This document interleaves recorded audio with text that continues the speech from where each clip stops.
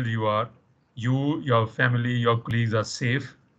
And our uh, prayer would be stay safe, stay healthy. These are difficult times, but let's be optimist. This too shall pass soon. Okay, having said that, let me again formally introduce the Tunneling Association of India to you. Uh, this is an body which was embodied in the year 1976. And uh, we work under the aegis of Central Board of Irrigation and Power in India. And we've been associated with the ITA, the International Tunneling Association and Underground Space, uh, right since our inception. The, the mission of our organization is like this, to get everybody on the same platform, our people from the academic background, our consultants, our industry partners, our builders, our equipment manufacturers, our material manufacturers, the, the students of tunneling, everyone together under one roof to discuss, to share, and also to plan. Uh, we do publish our technical publications and share with all. Uh, we are the official representatives of India in the ITA. So whatever events are held by the ITA, we represent uh, uh, India as a nation. Uh, in addition to that, once every two years, we do conduct Tunneling Asia. It's a major event. Last time we conducted it in Mumbai. Uh, this, this year, of course, it is not due. We'll see the next year. And also do the Tunneling Asia Awards once in two years again. A good part of our expansion has been that the young tunnels of uh, TAI is a new chapter which was added during last to last year, that is 2018. The young tunnels means those who are less than 35 years of age. Now that's our brief introduction and our activities that we undertake. We also have a sister organization which is very new, just a few weeks or a few months old called Center for Excellence for Tunnels. Uh, there's an organization in India called the National Highway Infrastructure Development Corporation Limited. They basically make highways and they thought that OK, on the highways, uh, there is a there's a requirement having large number of tunnels. So they made a small core group in their organization, which is uh, in collaboration with us. And they are also looking at the thought leadership, the strategic advice, and the problem solving uh, inputs. They are more on the practical side of it. And uh, the two organizations hopefully will collaborate and work together. So that's a brief introduction. coming to the subject proper for the day, spray applied waterproofing membrane.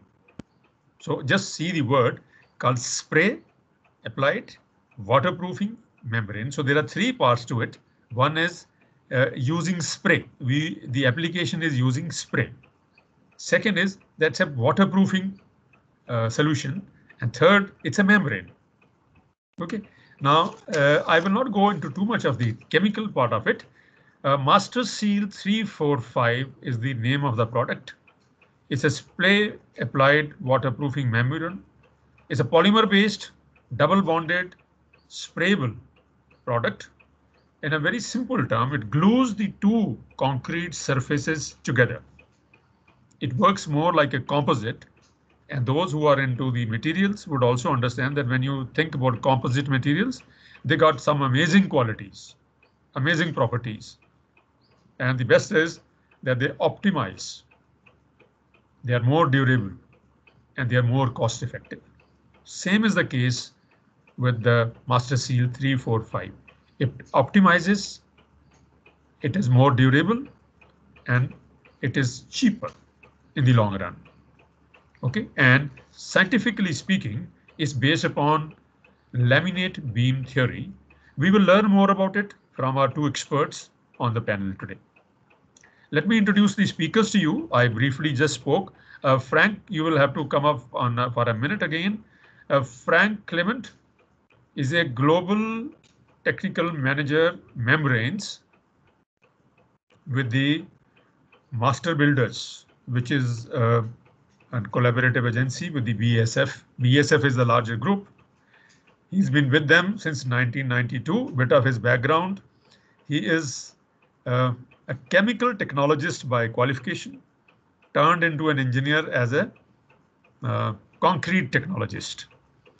Okay, very interesting. Uh, he's been um, into the underground space and like he said that he's based at Belgium. So he's worked largely, large part of his career, he's worked in Belgium and Netherlands, providing solutions for underground space, both concrete and the waterproofing of concrete. Okay, welcome on board, Frank. Thank you. Uh, next we have Diletta Talati. Diletta. And she is a design manager and looks after the areas in Europe and ORA. She's tunnel engineer and a design engineer by, by profession. She's a postgraduate. Uh, she is into uh, the underground construction and she's been looking after in Europe, Middle East and Africa. For, again, for the master builder solutions. Uh, unlike Frank, what she's done is she is an engineer turned into a chemical technologist. So it's a, it's a very good combination that we have a chemical technologist turned into an engineer and an engineer turned into a chemical technologist.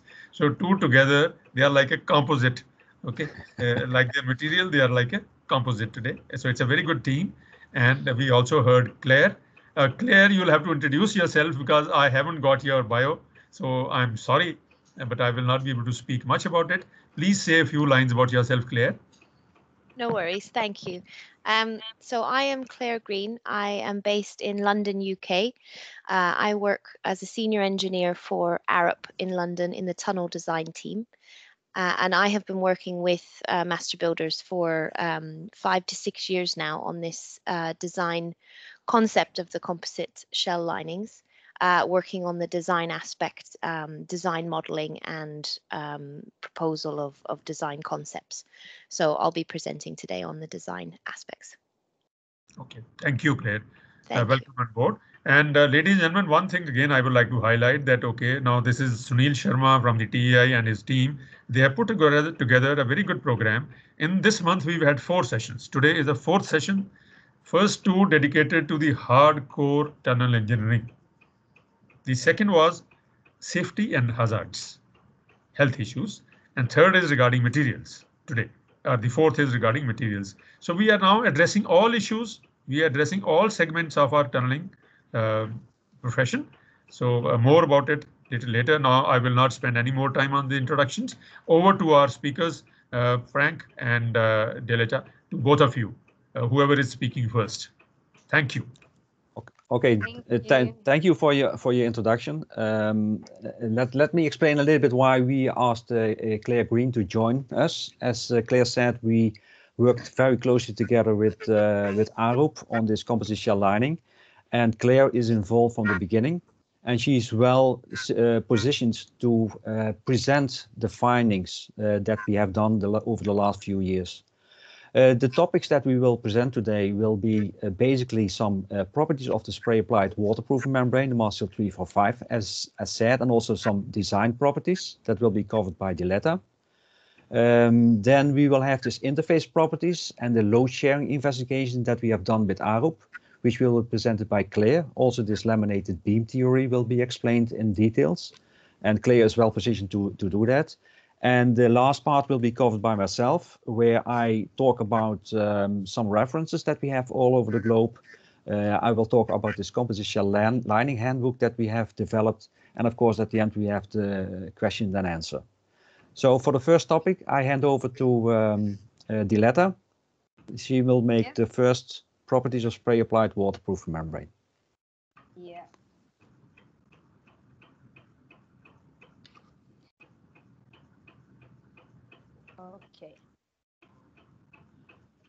Yeah, as already Frank and uh, said, um, in my first presentation, I will uh, uh, mainly talk about properties of the spray applied waterproofing membrane. Um, what, what we desire, first of all, when we are underground, of course, a comfortable, safe, and attractive space uh, as uh, in the, tun the tunnel in the picture. But unfortunately, very often, the reality is uh, a little bit different because we, we see leakages in tunnel linings, as you can see in the picture, uh, mainly waterproofed by traditional PVC, sheet membrane. So such waterproofing failure means money and time wasted. So the solution for NATM and drill and blast tunnel linings are mainly two. Double shell lining with sheet membrane and composite shell lining with double bonded membrane. In a double shell lining, we have a primary spray concrete lining as temporary support, a PVC sheet membrane, the bonded from the concrete, and a secondary cast concrete lining as a permanent support. In the composite shell lining, we have a primary spray concrete lining as permanent support already, not temporary anymore, a double bonded waterproofing membrane, and a secondary spray concrete or cast concrete lining as permanent lining. The concept is that uh, in the permanent structure of the composite shell lining, primary and secondary lining work together as they are connected by the membrane. That is why it is possible to reduce the total lining thickness, saving the temporary lining thickness in respect of a double shell lining, as you can see in this example, in this picture. So today we try to go into details of the composite shell lining structure and explain how it is possible. Um, we said in double shell lining sheet membranes are used. So here you can see an example of a PVC membrane with a complex scaffolding to install that. And the drainage system, and is an example of the drainage system at the invert. This solution can be useful, for example, with high water ingresses. But there are some challenges related to PVC. Installation has to be done by skilled people. It is important to ensure a perfect welding of seams, and it is important to pay attention to not damage the PVC.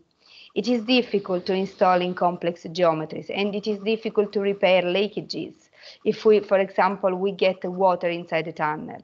That is why compartments and injection systems are mainly used, as you of course know already.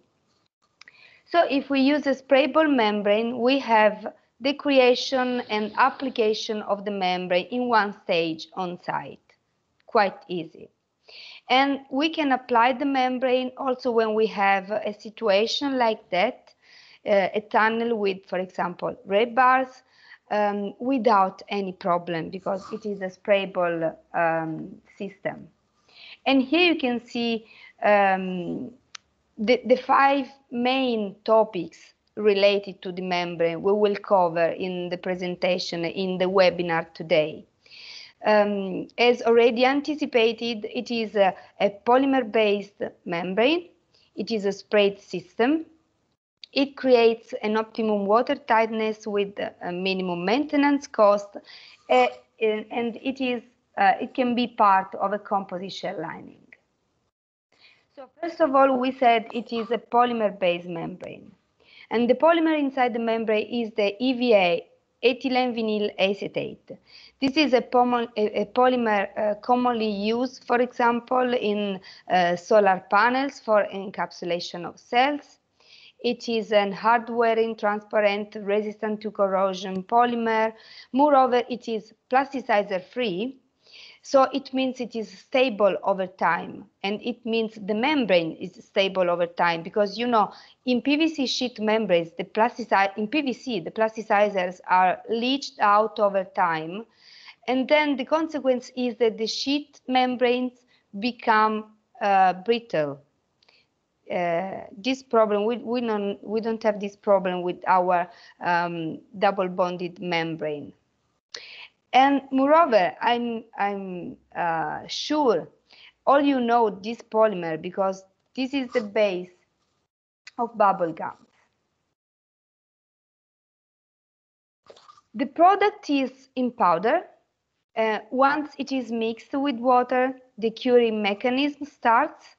And as soon as the water, all the water evaporates from the paste, from um, the, the matrix polymer chains, we get a cured membrane, a properly cured membrane. This is the same mechanism of latex paintings.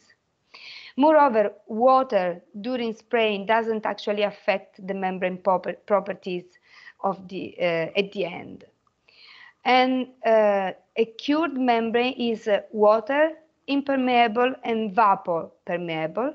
So it means that cannot be a pressure buildup behind the membrane. This is important from a design point of view, and we will see uh, this topic a little bit uh, much more in details in this presentation also.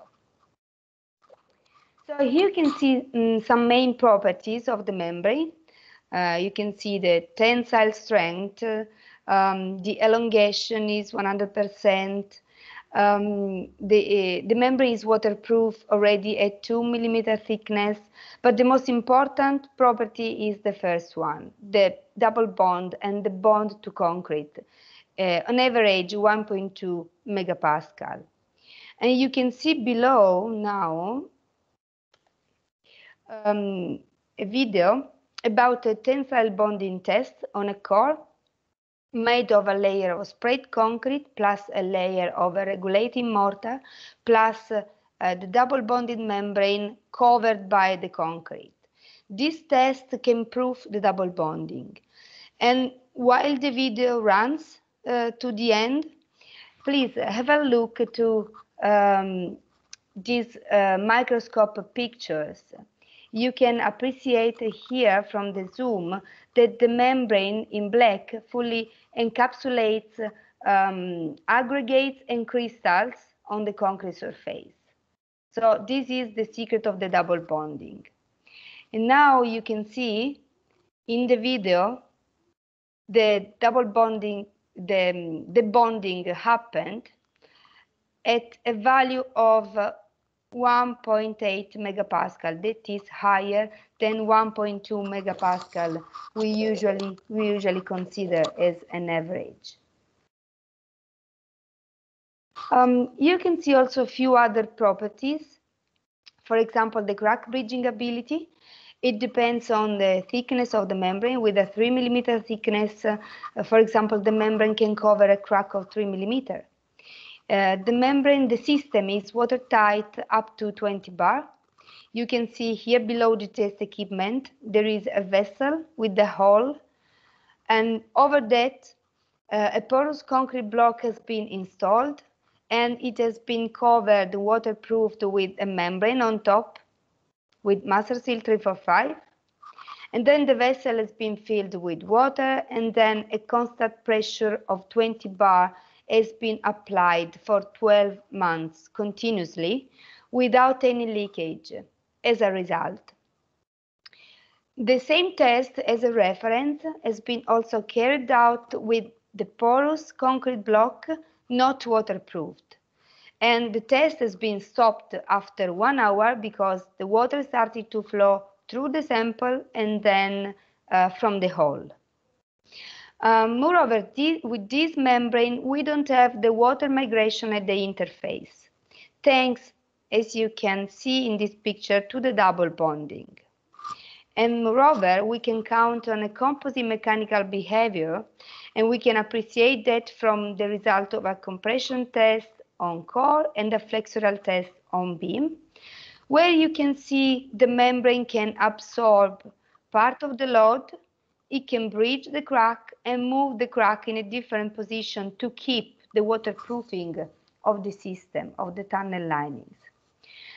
So when we apply a waterproofing sprayable membrane in a tunnel lining, we have that between primary and secondary lining.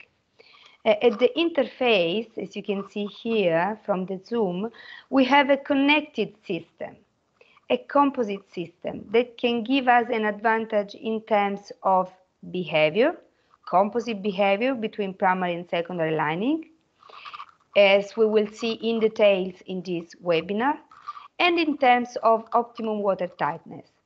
Um, take into account that the concept of water tightness or waterproofing here is completely different from the PVC sheet membrane concept. So Let's have a look to that in details. And let's start from uh, the double shell lining with PVC.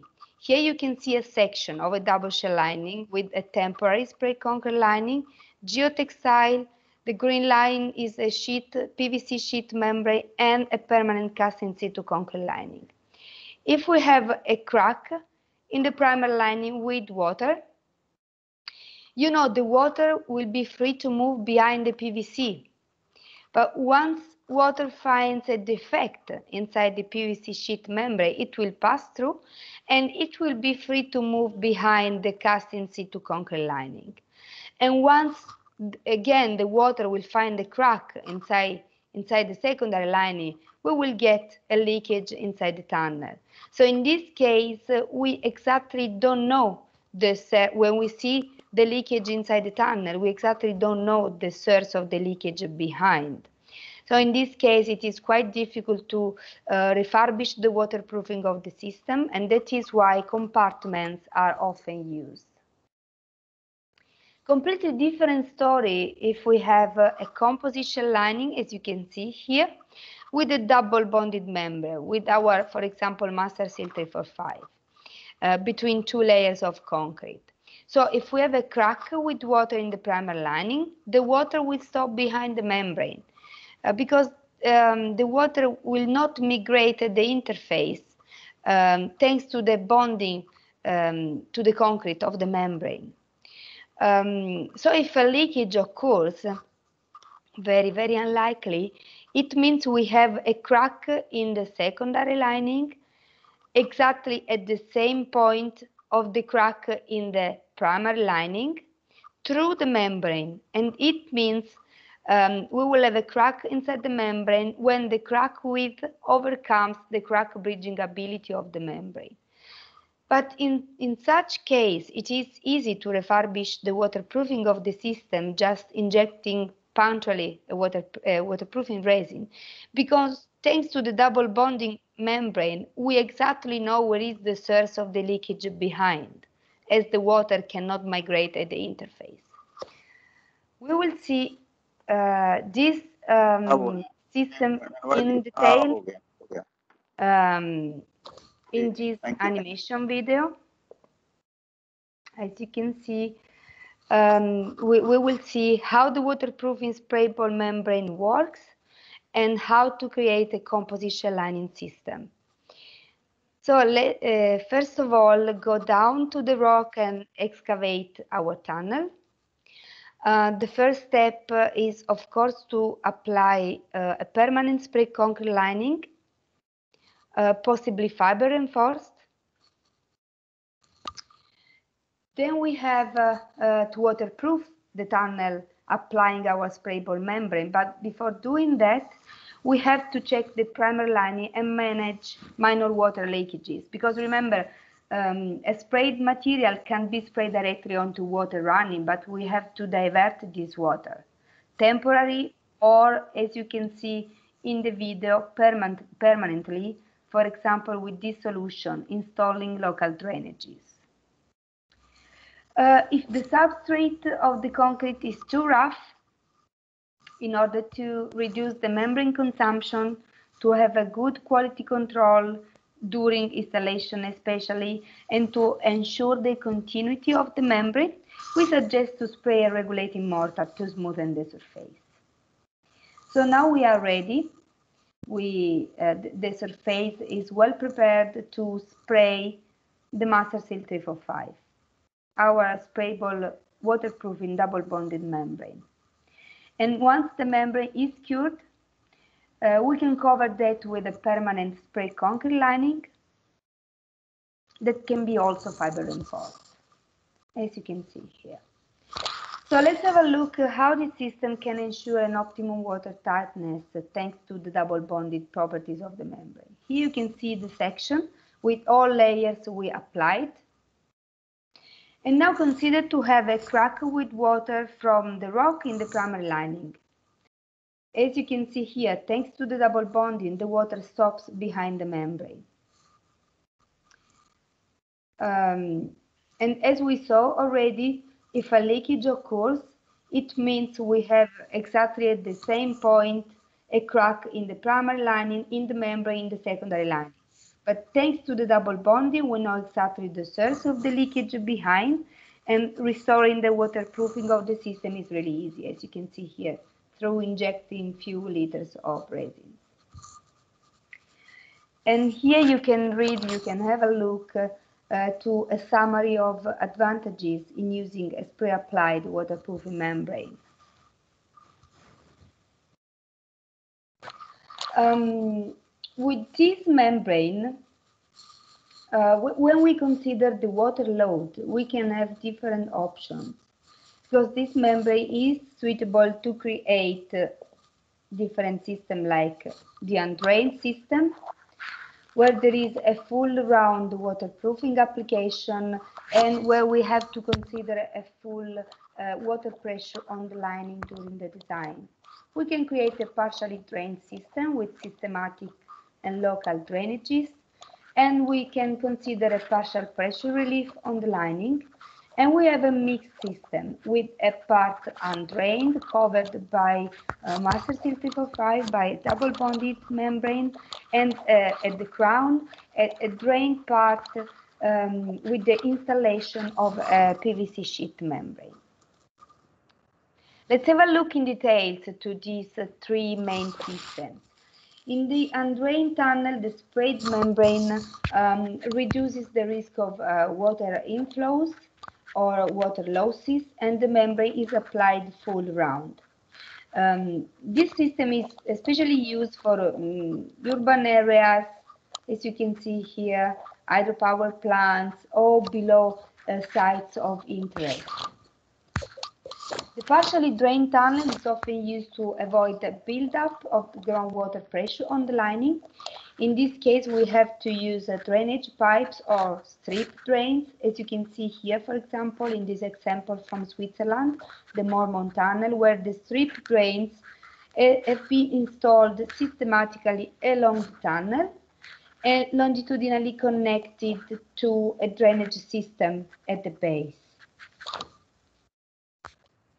The mixed system is typically used to protect users and services from dripping water and it, it uh, consists of uh, uh, an undrained part represented by double bonded membrane at the crown, a, a drained part represented by sheet membranes at the invert.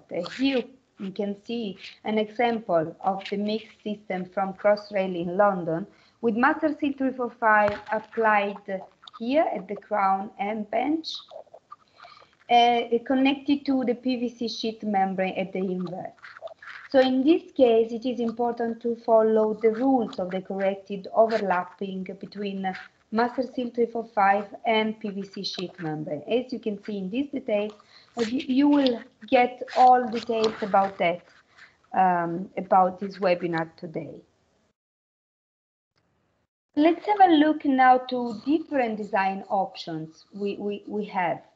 Because when we talk about waterproofing double bonded membrane, we can consider the membrane as only a waterproofing layer, or we can consider that in a composite lining configuration uh, to get, of course, more benefit. So let's go step by step and imagine um, to, to start from uh, uh, a traditional double shell lining with PVC sheet membrane and imagine only to replace the sheet membrane with MasterSeal 345 with the spray double bonded membrane. In this case, we can get already some benefits. Uh, the system water tightness thanks to the double bonding of the membrane, a rapid membrane application as it is a, a spray material, and higher flexibility of construction and an easier maintenance uh, as, as we already underlined as we, we saw in the animation. Going ahead, if we replace uh, also the cast in situ concrete lining with a permanent spray concrete lining, we can get another advantage. The faster installation of the inner lining, of the secondary lining. And we can fully optimize the lining if we consider also to replace the temporary spray concrete lining from the double shell lining with a permanent spray concrete lining. So in this case, we can consider the composite action and reduce the total lining thickness, as in this case, the primary lining is not temporary anymore, it is permanent Uh, it is connected to the secondary lining through the membrane and it contributes to bear long-term loads.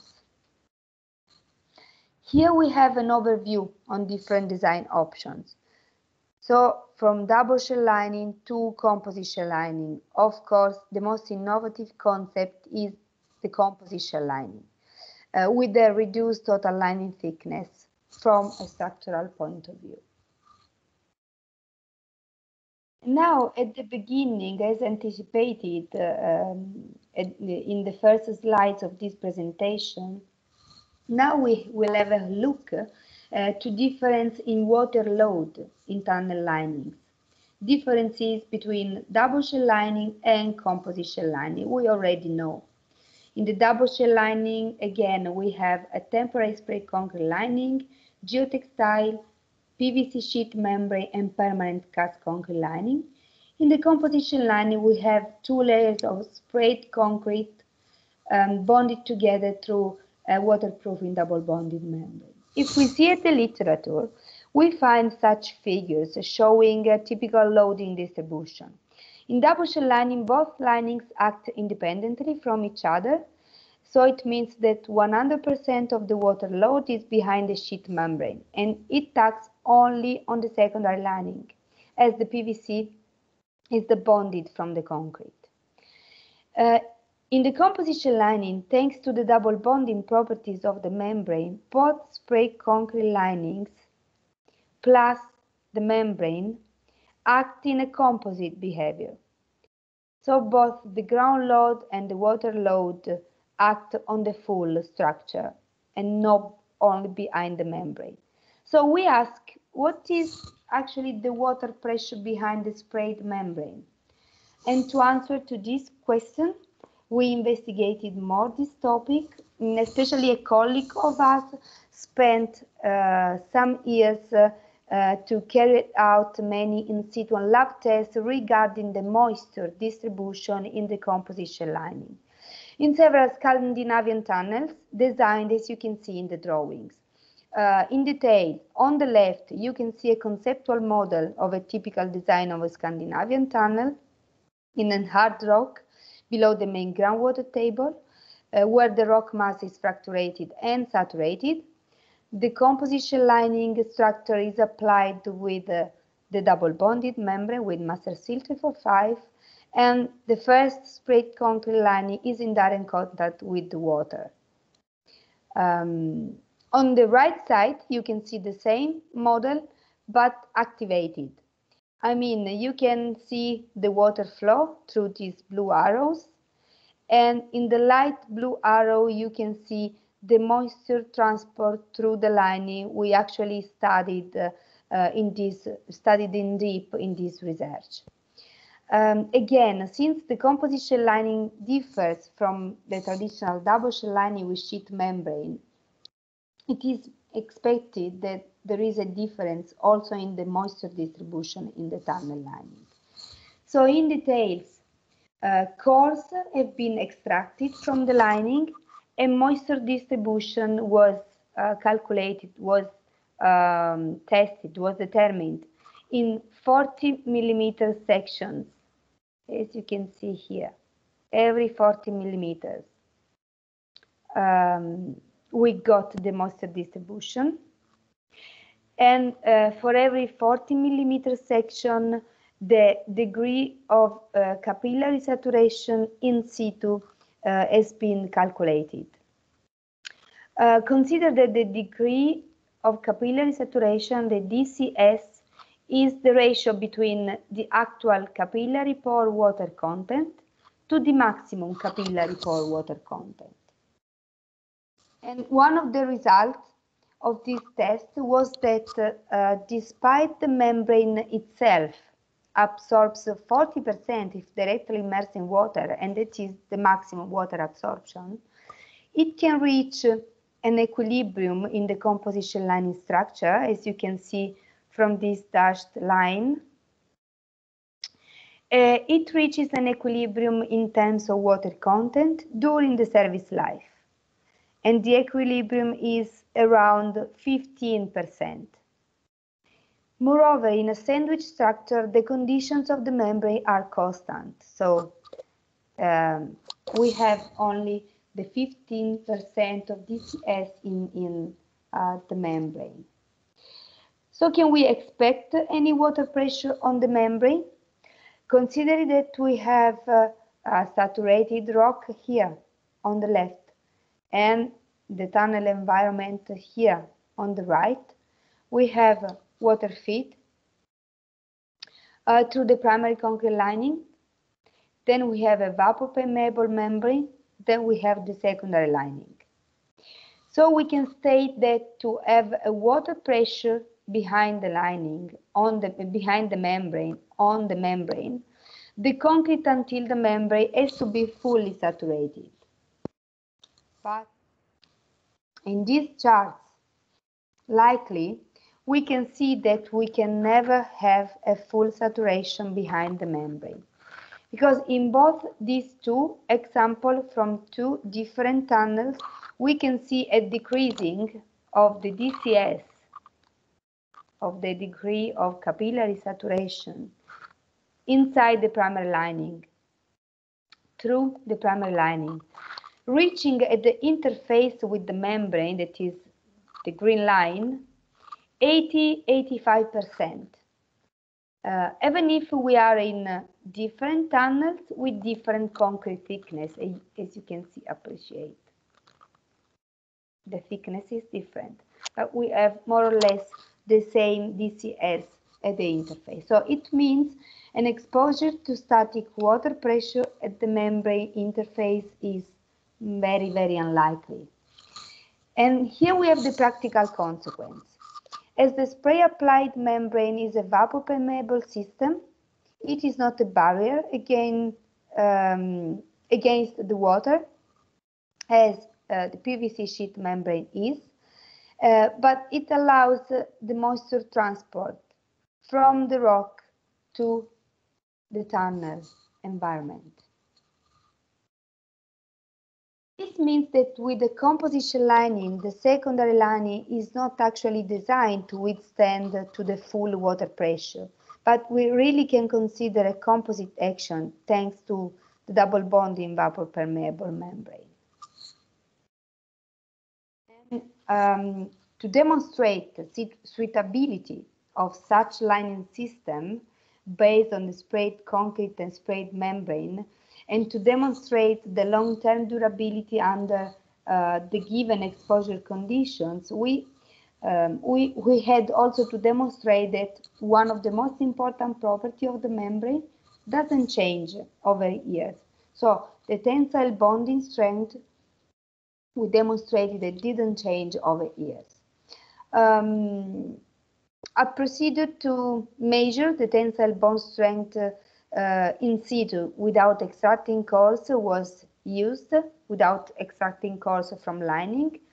And uh, as you can see here in this picture, and the main purpose uh, of this procedure was to test the tensile bond strength under as realistic conditions as possible.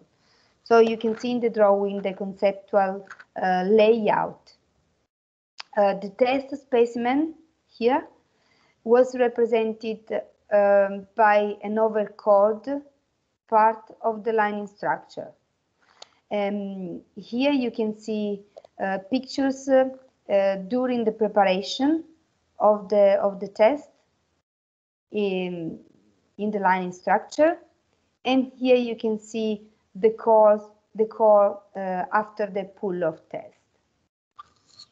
So um, results of these investigations on tensile bonding strength are in the chart here. We can see, generally speaking, from here, that bond strength on cores in laboratory um, which are conditioned by immersion and frozen thawed for 35 cycles, uh, tend to give slightly lower values compared to site testing. But as you can see, mm, it is not a significant uh, reduction.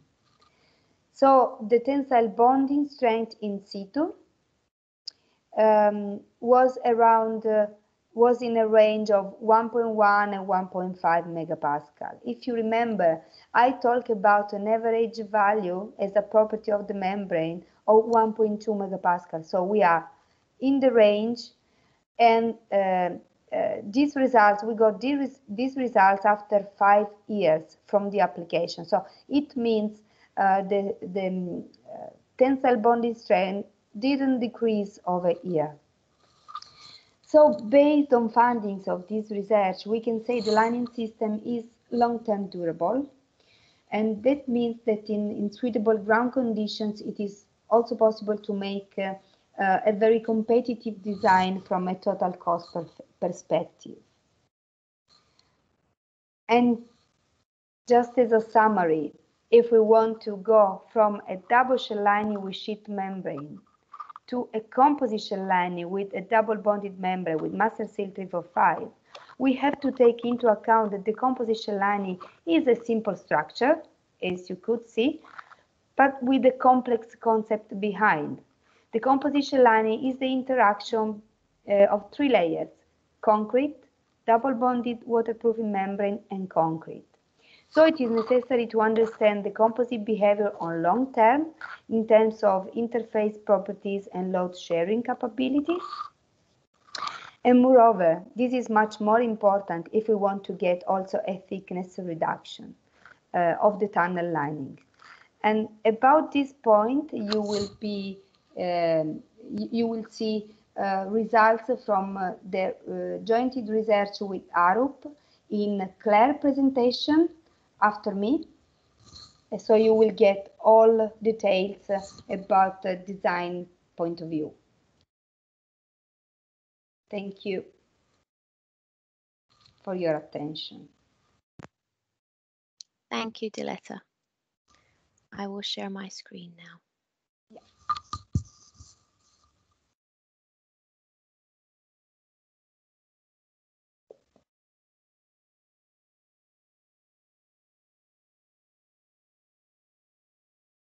Can you see my screen, Diletta? Not yet. No, not yet. Let me try again. Apologies. No problem. Yep, Yeah. there. Yeah. Okay, thank you. Right, good afternoon. Um, as discussed at the beginning, I'm Claire Green from uh, Arup in London, and I'm going to take you through, as Diletta uh, introduced, the, the design concepts behind composite shell lining design. So, to start, I won't go through this in detail because Diletta's explained it um, a number of times in her presentation uh, very clearly. So, just to recap here, we have the primary lining. Oh, is my screen? The screen is gone. Someone. Let's do this. That should be it. Yep, it's back. Okay. Uh, we have the, in the double shell lining concept, we have the primary lining, which is assumed to degrade in the long term in terms of design. And we have the secondary lining, which is the permanent lining with the waterproofing membrane, which is a typically the sheet membrane in between. In the composite shell lining, we have a primary lining which is permanent and a secondary lining which is permanent with the sprayed waterproofing system in between. So in order to understand the, the way that this works, we need to understand the bond strength at that interface in terms of shear, compression and tension between the two lining systems. And that's what I'm going to run through with you today to date. So I'll take you through uh, from the beginning where we carried out some lab tests with uh, Master Builders um, using waterproof membrane sandwiched cores and beams. These tests were carried out to obtain the interface parameters um, for our modeling and, and understanding um, what's, what's happening at the interface. We then used LS-DYNA, which is a finite element software, um, to calibrate to the lab tests. So we calibrated to the core and beam tests from the, the labs And then we used that to uh, model a tunnel section analysis. So I'll show you um, the steps we went through there. And then I'll talk about our results interpretation and how we have shown that the composite action and load sharing is, is shown to be happening in a tunnel section. And then over here is a, is a design approach, which has been mentioned a couple of times, the laminate beam theory, and we'll take you through that and the way that we've developed a new design approach to understand the potential to save uh, secondary lining thickness in design. So first, we'll go through the lab tests. So we sprayed um, test panels at the Tunnel and Underground Construction Academy in London. Uh, and you can see there we have at the bottom here we have L18 you can see has had um, sprayed um, sprayed concrete, sprayed fiber reinforced concrete applied. And in L20 there you can see the, the MasterSeal 345 applied. So we had sandwiched um, test panels with layers of concrete, MasterSeal and concrete again. The test panels were cut to obtain beam samples and also core samples, which you can see here. The cores were taken at various angles to the vertical to allow us to look at uh, shear, shear capacity of the concrete cores.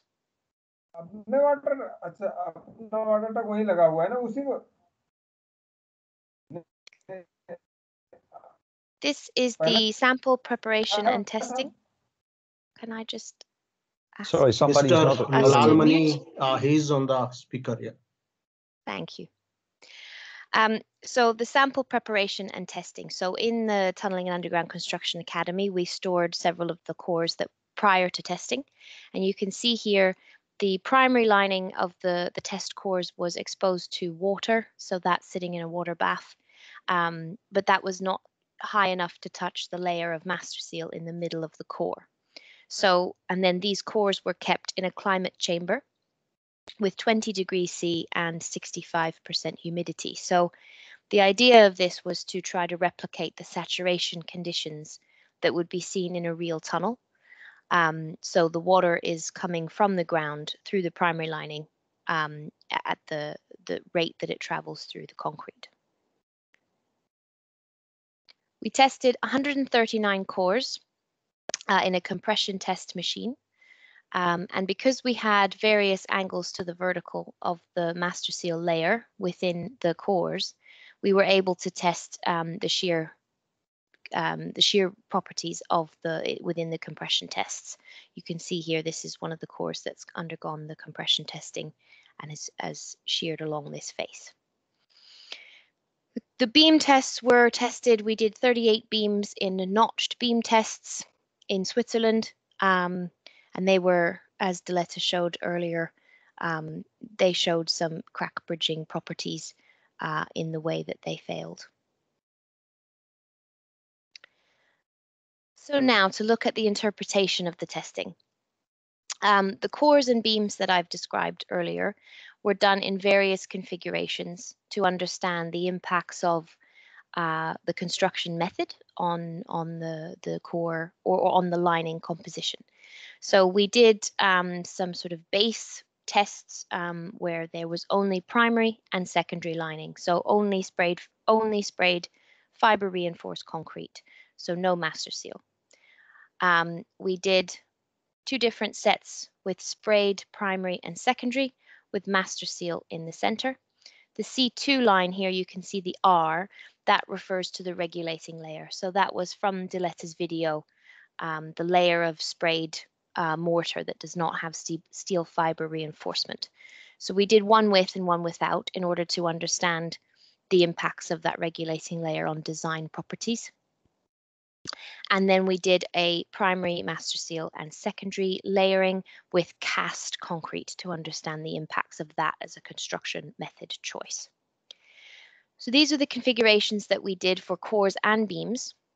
On the right, you can see our approach to the failure to the, um, the, the, the interface, because the interface has a very complex um, interaction. We have this primary and secondary lining which have engineering properties. Uh, the sprayed waterproofing membrane itself has its material engineering properties. We have a varying thickness of membrane on a small scale across the, the section. You would have undulations in the sprayed waterproofing membrane. And then you come into, you know, minor effects such as surface roughness and where the bond strength varies. So instead of trying to understand each of these properties in detail on an individual basis, our approach at Arup was to look at a single interface zone.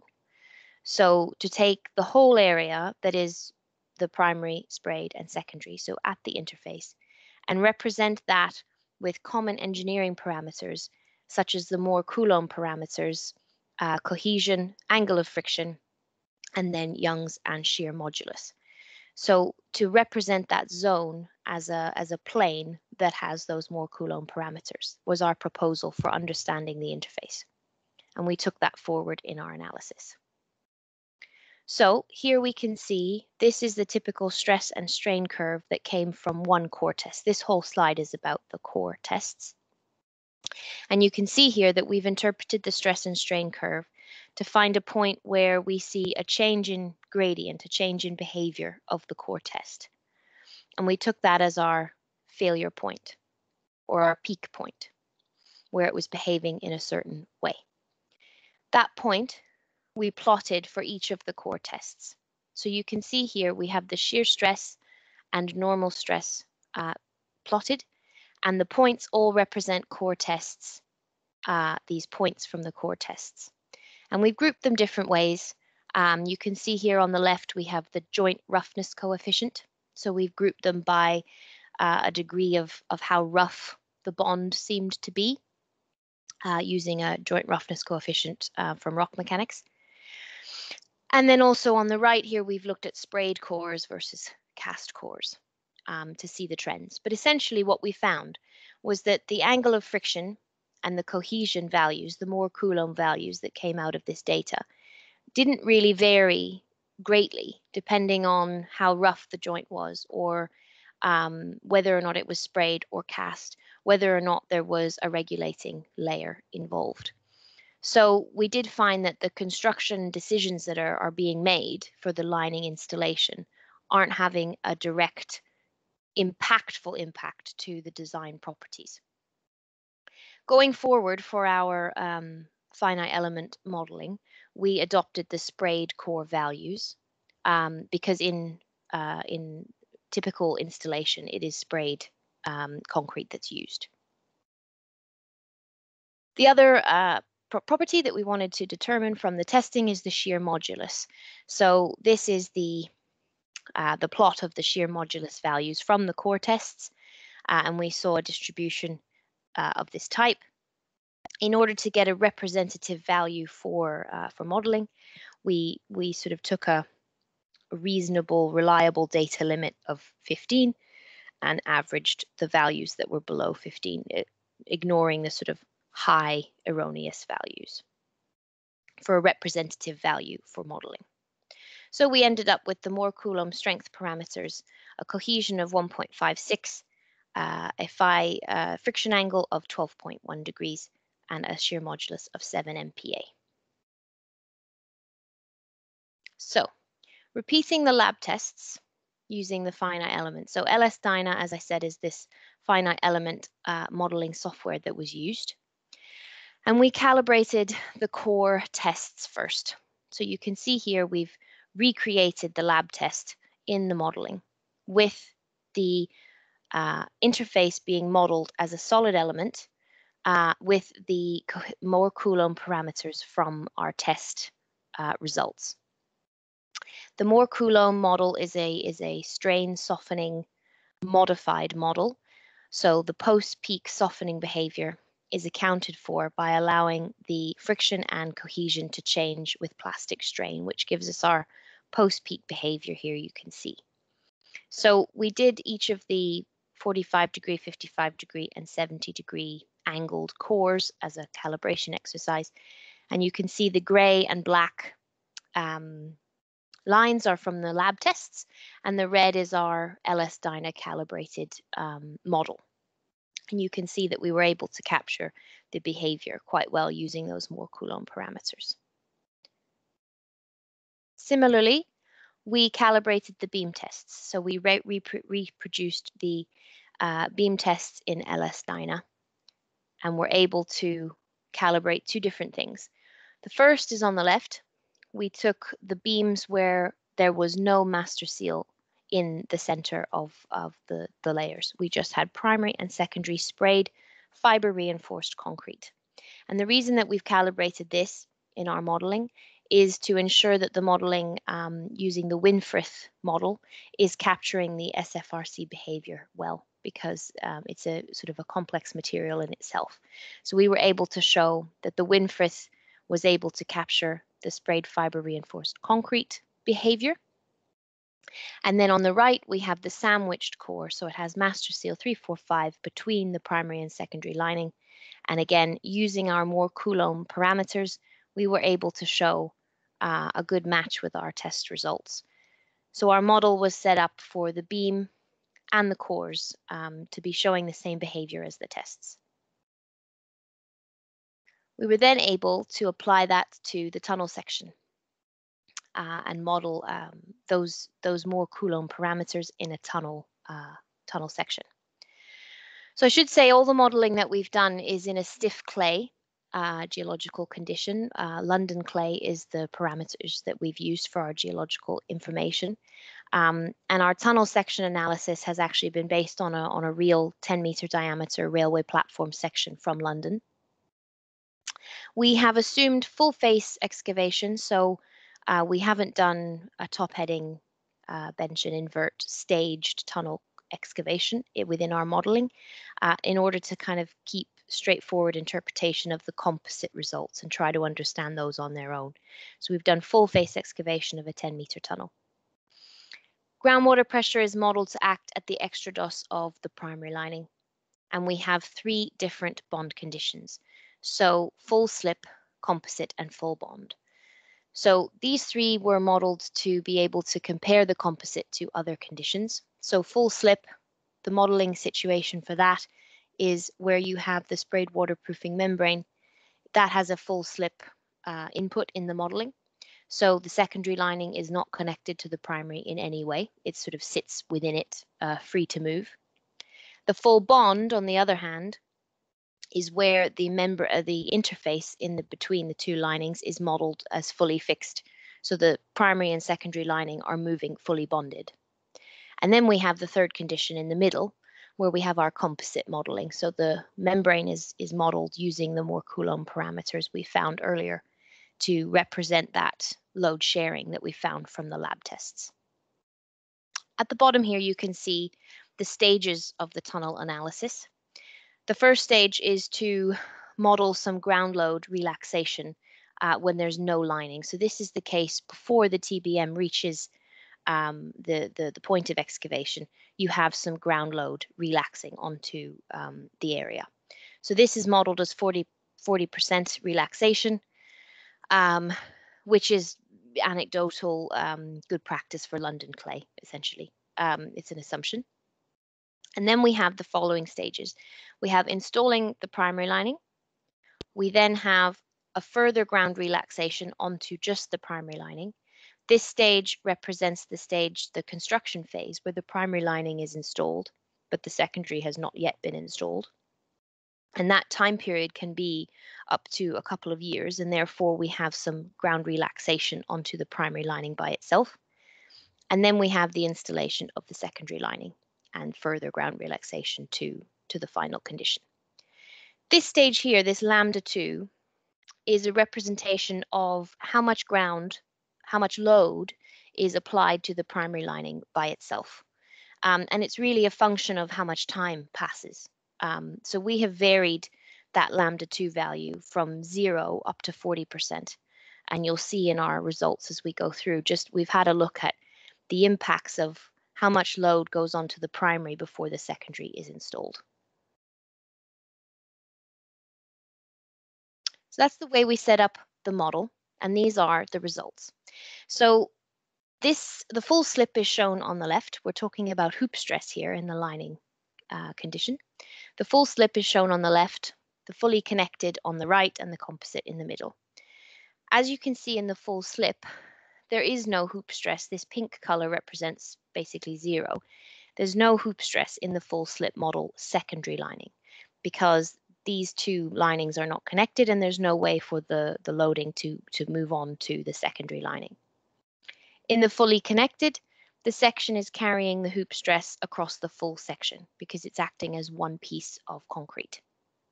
And in the composite, we see a variation in hoop across both linings with a step in the center. If we zoom in on the invert here for each of them, because it's the clearest point where the, the conditions can be seen, you can see here the full slip, all hoop is within the primary lining here.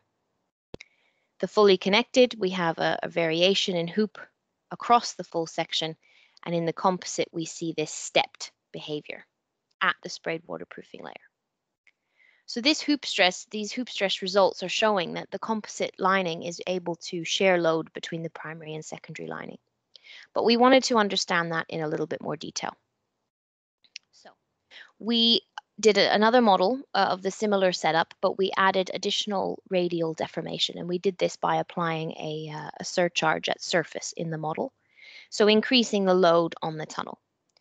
So you can see here on the right, this is the deformed shape, exaggerated uh, deformed shape sketched up for um, the London clay, stiff clay condition, where you have increased vertical forces compared to horizontal in the ground. And so you get this uh, deformed shape of the tunnel lining. And we wanted to see if we were seeing what we were seeing in terms of tunnel deformation and the impact of primary and secondary lining in composite lining. So you can see here, this is the crown condition, and these again are hoop stress, hoop thrust um, plots. So you can see here, this is the ground, and this is the tunnel, so inside the tunnel. So this is the distance through the lining in meters.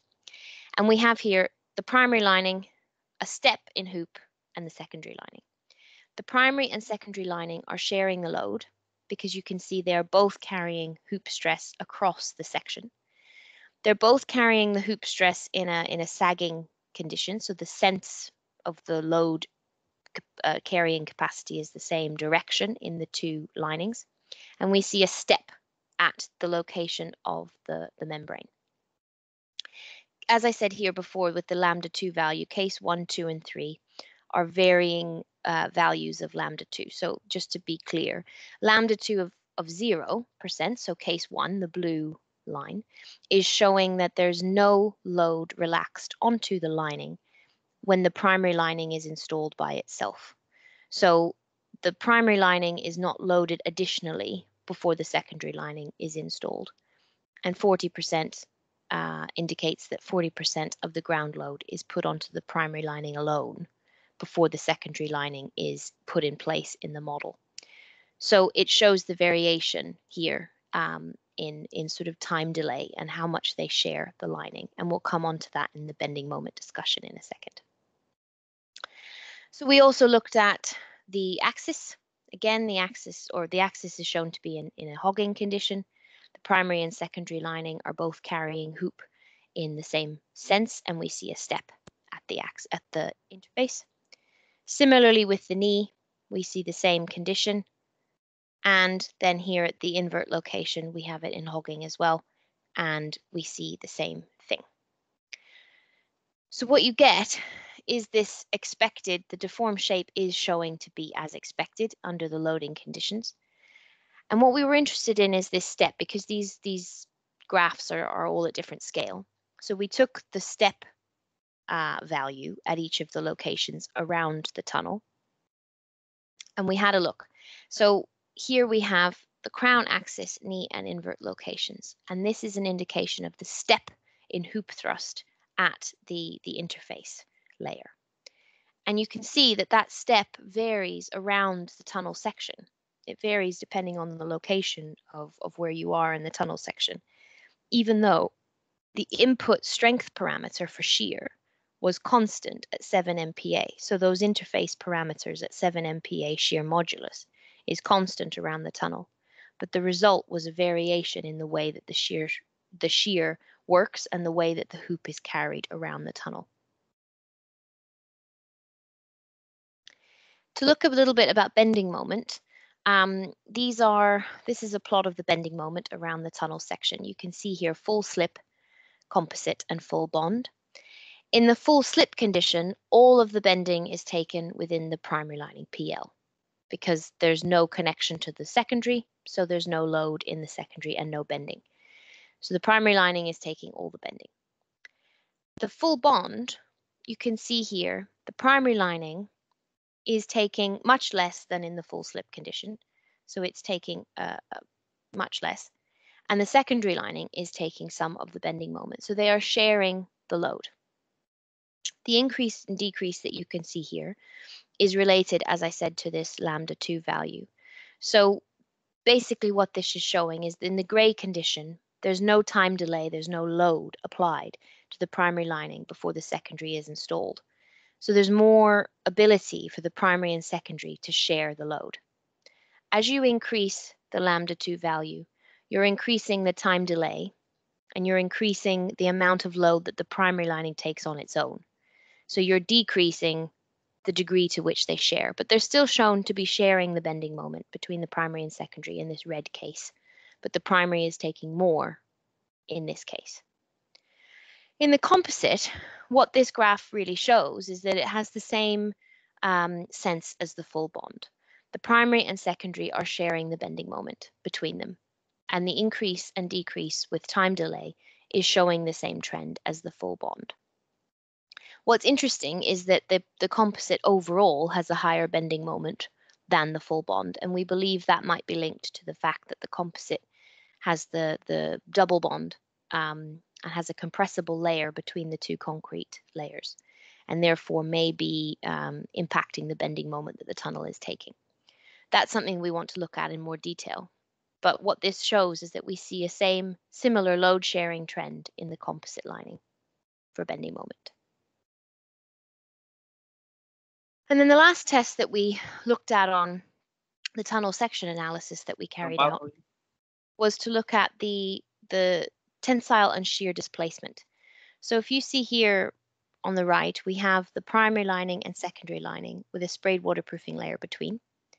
The A points represent the starting point of a location of a node um, either side of the waterproofing layer. And the B points indicate where those end up once you have deformed the tunnel. So the points may move in shear, they may move in relative to each other in a tensile way or in a, com a, compressive way. So it's interesting to understand the way that these points, that the, the, the waterproofing layer, the two layers move in relation to each other. So what we did was we looked at where the where the points start and where they end up to understand the tensile and shear displacement values. And on these graphs, you can see this on the left is a typical pull-out test curve of a double bonded interface layer. So it's very much like the, um, the video that Diletta showed. And this is the typical result of, of what the, um, the MasterSeal was able to, to take. And the 0.02, which is small there with the arrow, is the value that we got out of our modeling.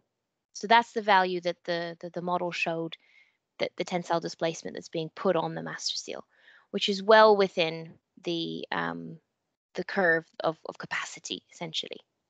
And similarly, on the shear stress deformation curve, um, from a similar research project on MasterSeal 345, we can see the shear displacement value that we we found in our modeling is much, much smaller than the, the curve that, that uh, MasterSeal 345 is capable of, of taking. It should be said that these tests um, were done with a, a, deformation of 10 millimeters on the diameter. So that's only a 0.1% ovalization of the tunnel. One thing that we want to do going forward is looking at a, at a higher degree of ovalization to see whether when the tunnel is deformed, even to sort of ultimate limit state conditions, um, that the tunnel is that these sort of tensile and shear displacements don't go up in a in a in an extreme way. So we want to test that. Um, but at the moment, these are these are encouraging results for the tensile and shear displacement. So now I've talked through our lab testing and our on our modeling activities, I'll go through quickly the design approach that we want to talk about with laminate beam theory. So this is, we wanted to be able to talk to develop a design method because the LS Dyna models that we have talked about to date are quite complex. Um, and actually understanding the degree to which you can reduce your lining thickness um, is something that we want to be able to do in a sort of um, qualitative way. So we took in information from the laminate glass theory. So if you think it seems kind of strange to have inspiration from glass for tunnels, but it is a very similar concept um, in terms of you have two stiff materials uh, and then you have a layer of glue in between.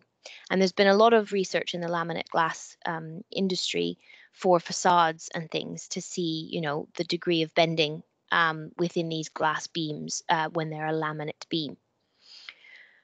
So we took the concept. You can see here basically what the laminate theory does is it creates an equivalence mathematically between a laminate, or in our case, a composite, and a monolithic piece of glass in their case. So it uses um, the, the, the, equations to um, give an equivalent deflection of a single piece of glass versus a laminate piece of glass. So in our case, we know the primary lining requirements because we know the thickness we need to support short-term loading in the ground. We know the thickness of our sprayed waterproofing layer. We know our secondary we know our secondary linings Young's modulus, Young's modulus of primary, shear modulus of the sprayed waterproofing layer.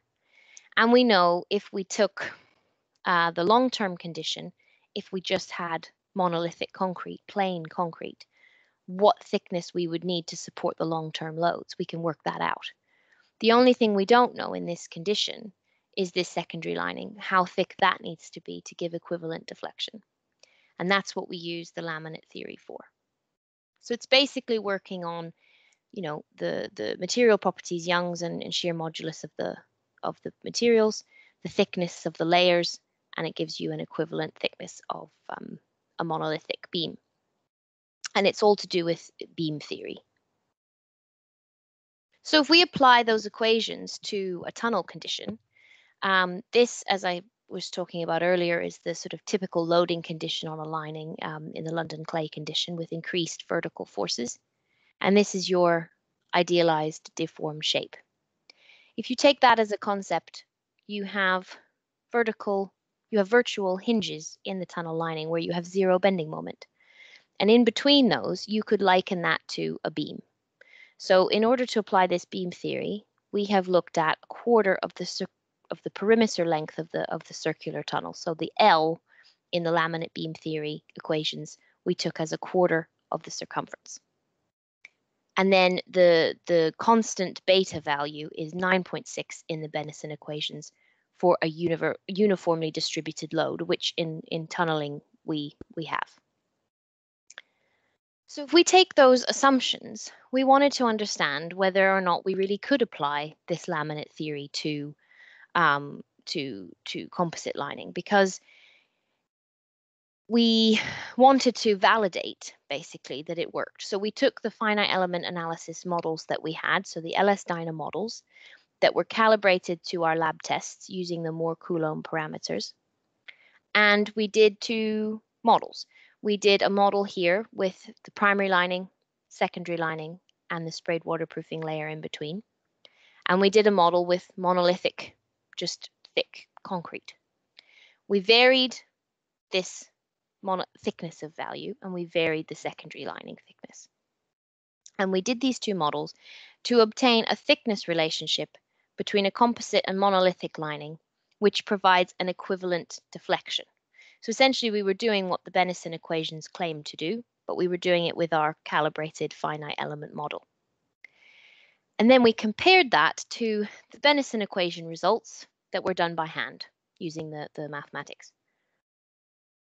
And you can see here, the red dots indicate the LS Dyna and the laminate theory, you know, hand calculations are indicated by the black line. And on this graph, we have uh, on the this axis here, we have the secondary and primary lining thickness relationship. And we have the equivalent monolithic lining and primary lining relationship. So it shows quite well. We were surprised at how how well the LS Dyna model was able to model the same thing that came out of, of the laminate theory um, in an Excel spreadsheet. So um, we thought we could use this as an indication of how much you can reduce the secondary lining potential. And it's, it's a quick way to ana analyze the secondary lining thickness reduction potential. And it's showing similar results to what you would what you would find if you were running it in this detailed LS Dyna model. So we wanted to verify that before we proposed um, it as a design concept. And we looked at various variations. So the black line in the middle, you can see, is a diameter of tunnel of six meters, uh, a thickness of the MasterSeal of three millimeters, a shear modulus of 7 MPa, and a primary lining thickness of 250 millimeters. So then we varied some of the values. We varied the shear modulus to test what it meant if it was bigger. We tested a thicker MasterSeal layer because you know, on site uh, keeping three mil is, you know, can be challenging. So a variation within a few mil on that. And then we also tried a, a, larger tunnel diameter here. So we had a 10 meter diameter tunnel with an equivalent um, primary lining increase. And as you can see, on each of these, the dashed line with the circles is the numerical model result. And the line, the solid line, is what the laminate theory said we should be seeing. And as you can see, the, the impact to the ratios does go up and down with variation, but the, the verification of the laminate theory as a good tool by using LS Dyna, in each case, you see quite good agreement between the laminate theory and the numerical modeling. So we felt comfortable that the the laminate theory is applicable for equivalent deflection uh, for composite tunnel lining. So, to give an example, because it's always easier to, to understand these concepts with um, a real world example, this is a, a, design chart that's been produced, a sim similar graph. So we have the monolithic thickness and primary thickness on the bottom and the secondary and primary thicknesses on the left. And here we've done various things. So this design chart, what's good about it is it can be produced for any sort of tunnel combination um, that needs to be reviewed. So here we've done various primary lining thicknesses and we've done various shear modulus input values. For all of these, the tunnel diameter is six meters, the interface thickness is five millimeters, and the concrete Young's modulus is 35 GPa example of use of the design chart, if we take this these inputs that I just went through, your temporary ULS condition, so in the short term and construction stage, you need a primary lining thickness of 225. That's been calculated based on the loads that you have in your primary line in your temporary condition in construction. Your primary lining thickness is required at 225. Your permanent ULS, you do a calculation here of the thickness of, of monolithic concrete that you would need to support long-term loads. And that is calculated as 325. Your H equivalent is 325. So your, your relation of equivalent to primary is 325 over 225, which is 1.44. If you use that on the graph, uh, here you can go up and whichever input condition line you're interested in, you can then go across and you have 0.71 on the left axis, which means your primary to secondary ratio or secondary to primary ratio is 0.71, giving a secondary lining thickness of 160, essentially. So you've got about 71% of your primary lining thickness required for secondary. So in your composite lining condition, you have the 160 plus your primary lining which is a permanent lining in this case, 385. In your traditional double shell situation as a comparison, you would need the primary lining at 225 for the short-term loads, and you would need the monolithic thickness because your secondary lining is acting by itself in the long-term condition to carry all loads. So you would need the sum of the two, which is 550. So here we're seeing a 30% reduction indicated using the design chart. And this is the sort of numbers that we see, it's 20 to 30% across various um, tests uh, of use of the design chart. And it allows you to quickly understand the degree to which you could reduce your secondary lining thickness based on equivalent deflection and the, the laminate theory. So to go through some conclusions and limitations of the research to date. Um, the bond interface failure zone strength parameter is not significantly influenced by the lining construction method or the layer configuration. So that's what I was talking about there with whether or not you have a regulating layer, whether or not you cast or spray the concrete. They didn't seem to impact the strength parameter for design. The use of the Mohr-Coulomb strain softening model for the bond interface failure zone gave a reasonable match between real test and calibration. So we found that that model is, um, is, is a good tool for modeling the, the interface failure zone. The sprayed waterproofing layer can either be in compression or in tension when the tunnel undergoes deformation. And there is a certain level of shear displacement. But those shear and tensile uh, stresses that or, or shear and tensile displacements that we saw were, were well below um, the, the peak from, from laboratory tests. But as I said, that's for that low level of ovalization. And so we need to fully explore greater ovalization of the tunnel. For laminate theory, simple assumptions such as beam span and the parameter of beta, the laminate glass theory is found to be applicable to tunnel lining design. And using that design chart, we can see approximately 20 to 30% reduction of total thickness of the lining uh, for a typical circular tunnel condition as a, an initial starting point for, for the reduction potential. And then just a couple of limitations. So we have done uh, all of our modeling to date based on calibration to small scale tests. So a full scale test in a tunnel is required to, to validate um, the sort of calibrations that we've done to date. Potential damage of the bond interface um, from fire is a is a an, item that we want to explore further because if the primary or the secondary lining is damaged within a fire, it's interesting to understand from a structural perspective what that bond interface, how that bond interface changes. The long-term behavior of the interface, so not of the material, um, Diletta spoke about um, the durability of the material, um, but what we're talking about here is the, the interface and the bond characteristics between the three layers and how they behave in the long term. And then applicability to various ground conditions. We will, there's further analysis and test results required to understand, as I said, greater tunnel deformation and also to understand um, saturation level variation uh, of the interface. And then the last one is about laminate theory. Um, what we've presented is um, about equivalent deflection. Um, but there is also a capacity, there is also in the Bennison equations, the ability to look at equivalent stress within the linings or within the layers. Um, but in a primary lining in a tunnel, you have an initial stress condition. You have um, a stress condition that's that's in place before the secondary lining is installed, which is not completely comparable to um, the laminate glass theory. So we would want to do a bit more research to understand whether or not what we've shown is conservative. But so far, the design charts are showing um, the, the laminate theory to be a good tool as a starting point for composite lining design. Thank you for your attention and uh, I will pass to Frank to present the next section. Okay, thank you, Claire. Thank you if you no, okay if I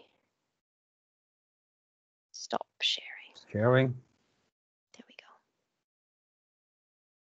I saw there are already some uh, questions raised but we will do the questions after this uh, last presentation. Um, let me see if this is the correct one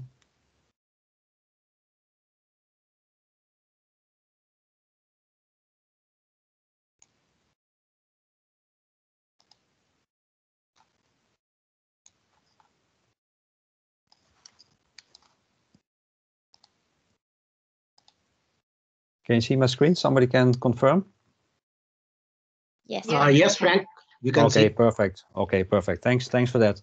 So um, you heard already a lot of, of design and, and, and figures and uh, examples. Um, let me go a little bit on, on reference that we have had and also uh, tell you about the design book that has been uh, established. Um, application, to give you a flavor about application, Diletta told you that the product is, is coming as a powder. That means it is mixed with water at a nozzle. So the application steps are pre-wetting and cleaning the surface. And also the surface has to be smoothed out with a regulating layer. If it's too rough, you see in this video uh, a nicely prepared uh, surface. Um, then the membrane is coming as a dry powder in bags of 15 kg. Um, and then you use a simple dry spray machine. That can be a Meyco Piccola, as you can see in this uh, part of the video, which is uh, the blue one. But you can use also uh, a different kind of equipment like the, the, the reed pumps. These are also suitable for spraying the MasterSeal 345. So you just fill it in the hopper, you convey it by air to the nozzle, and you spray a three to four millimeter layer in one go onto the surface. Essential is to have the right nozzle uh, configuration, to have good pre-wetting of the um, of the material, and you just spray it as a thick toothpaste onto the wall. Uh, so here you can see a surface that's nicely prepared with a smoothing layer. You measure the thickness, and you say if you have three millimeter, three and a half millimeter on thickness, you are okay. Quality supervisor is checking the, the thickness. He is marking the areas that has been undersprayed and you do a, just a patch up and respraying of this area. So it's a very quick and easy spray application. Application rates um, 50 to 100 square meters per hour. This is not a new product. This, the first version of this sprayable membrane was already in, introduced in 1999. And one of the first projects that we ever did with this kind of technology was an Anhydride Power project in Brazil. That was in the year 2000. So that is our oldest reference. So basically already 20 years old. But that was the first application of a double bonded waterproof membrane. And you can see also in this picture that you have starter bars for the inner lining. This was the shaft, and here you can see the application of the sprayable membrane. To highlight a few of the um, applications, this was an escape tunnel. That was an existing tunnel that needed an escape, additional escape tunnel for safety reasons. And this was, of course, in the in the mountains in Switzerland. This was uh, applied in 2005. You can see here some some pictures of the application. Diletta told you this is uh, a flexible in design. So in this case, it was a fully tanked design solution. So sprayed the crown and also the invert. Sprayed in 2005. You can see some some pictures. They used the Meyco Piccola in this application. You can see the fully tanked design solution. And essential also to have a good lighting to so that the sprayer can see what he's uh, spraying. Um, as I said, this is already in operation since 2005. And in this tunnel, we had the possibility to monitor the pressure, the permanent static water pressure on the lining. Uh, so they installed this gauge and we've seen that the pressure on the lining is around four and a half to five bar. As said, is a fully tanked solution. The tunnel is still perfectly, perfectly dry with no signs of leakages, with 5 bar water pressure over 15 years. One other project that I wanted to highlight, because it was interesting to see uh, what the contractor decided. This is Hindhead in the UK. This was um, a tunnel, um, road tunnel, where Mott MacDonald has made two designs for this tunnel. The first design was option A, you can see here, this was sprayed concrete, steel fiber reinforced. Then the sheet membrane with the drainage solution, and then cast in situ concrete as a final lining. The alternative design for this tunnel was a combination between sprayable membrane, cast in situ, and sprayed concrete. So here you can see the alternative des design, which is again steel fiber reinforced primary lining, sprayable spray applied membrane. Then on the sides, it was cast in situ concrete, and on the crown, it was sprayed concrete. So it was a combination between cast and sprayed as secondary lining. As said in the beginning, um, we have double bonded, and double bonding is also with cast in situ concrete and of course with sprayed concrete. These options were available for the contractor and the contractor had just to decide which kind of design he wanted to make. And at the end, he decided that he will go for option B. Some feedback we got from the contractor about uh, benefits of this composite shell lining design with the sprayable membrane. Um, everything was sprayed. So he could use the same team, similar equipment to spray spray concrete and the membrane. That saved him around 1.5 million pounds on materials and equipment.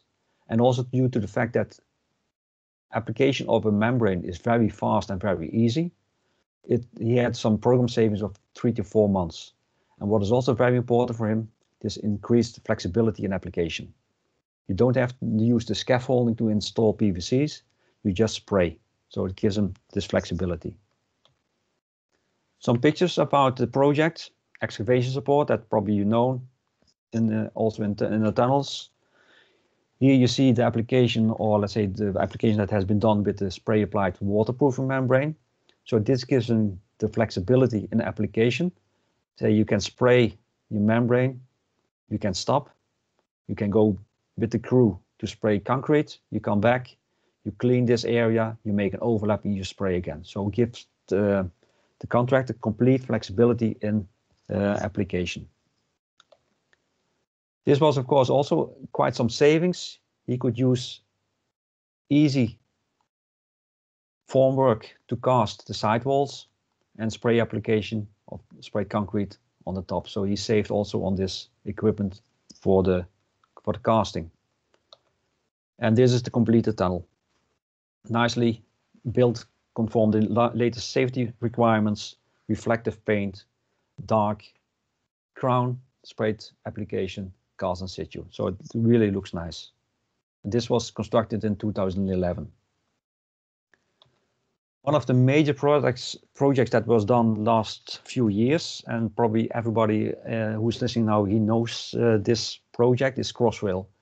This is the new Elizabeth line in London, and uh, this was constructed uh, having five major stations and also two large crossover caverns at Fisher Street and Stepney Green.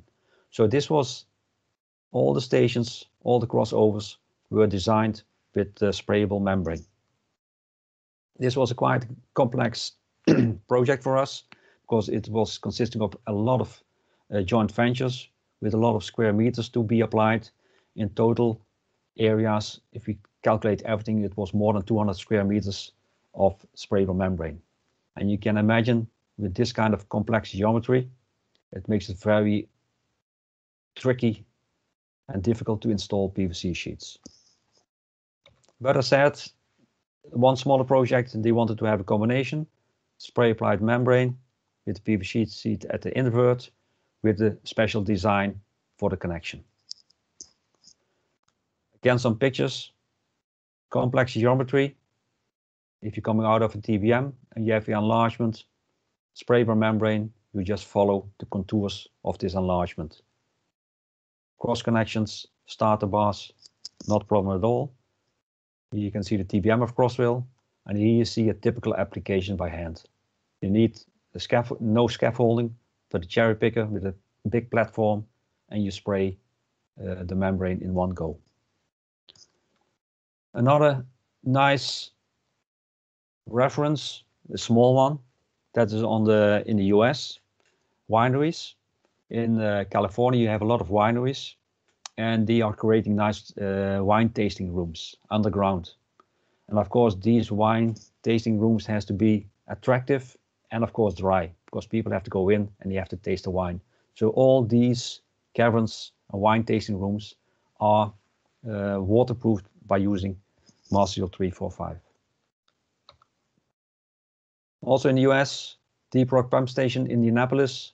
Again here, you see typical application of the membrane on the prepared surface. And the last reference I would like to show you is in Singapore, on the other side of the world, where they made an enlargement of the parking station in the Victoria Theatre in Singapore. And here you can see on this side, you can see the uh, diaphragm walls, the piles, which of course are not that attractive to spray a membrane on. So they had to be regulated with the concrete to make it uh, approvable for the membrane. You see a lot of starter bars but by spraying the membrane doesn't make any problem for the waterproofing system. So that's all roughly a few reference to give you a flavor about what we have done in the over the years. Um, we try to inform you about the different design possibilities, uh, what is possible with a sprayable membrane by replacing the sheet membranes with the sprayable membrane or even incorporate permanent spraying concrete. But the main topic of today is to give you an idea about how can I make a composite and reduce the total lining thickness. And as Claire said, if we make the calculation by using the laminate glass theory, we are ending up with around 20 to 30% lining reduction. And this lining reduction is essential for a cost-efficient tunnel design because we can create some savings. And just give you um, a quick overview about an example. An example about 20% um, lining redu reduction. So if you take a double shell lining, internal diameter of 10 meter, if you are a designer, you can calculate your primary lining around 200 millimeter. Then you have your waterproofing system, which consists of geotextile and PVC, 2 millimeter, and then you have your secondary lining. So this is a typical double shell lining, which is which you, you can calculate traditionally. Every designer can calculate this double shell uh, design. Now we are going into um, lining optimization. So lining reduction up to 20%. So we stay with the same internal diameter, we stay with the same 200 millimeter of permanent sprayed concrete lining as primary lining. We have 3 kg or 4, 3.5 kg of Master 345. And then we have, instead of 300 millimeter cast in concrete, we have 200 millimeter of permanent sprayed concrete lining. That means 20% total lining reduction from 500 to 400. That means the external diameter of this tunnel is only 10.8 meter. If we calculate then the material savings on concrete and on waterproofing systems, concrete for the primary lining 6,700, secondary lining 9,700, in total almost 17,000 square meter, uh, cubic meter for concrete for one kilometer tunnel. If we take the composite, we only need 13,000 cubic meter of concrete. That means 21% savings in only material. And if you calculate the CO2 reduction, we can already have 9% CO2 reduction based on the material savings, because mainly we save concrete, cement. 21% reduction in concrete use. This is only for material.